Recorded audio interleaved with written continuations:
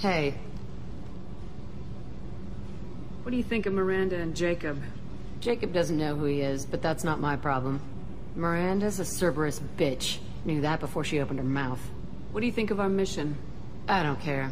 I'm out to survive it, then cut loose. I should go.